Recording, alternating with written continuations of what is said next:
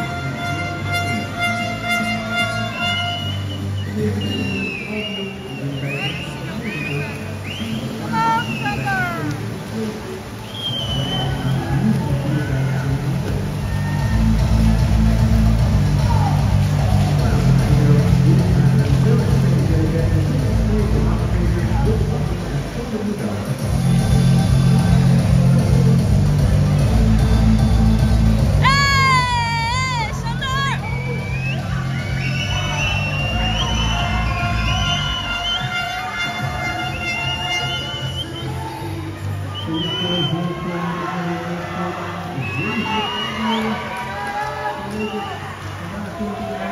you.